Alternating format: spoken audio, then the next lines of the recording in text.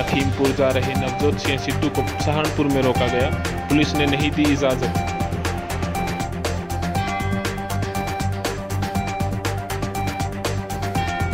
उत्तर प्रदेश प्रशासन ने सिर्फ़ पाँच नेताओं को में प्रवेश की इजाज़त दी।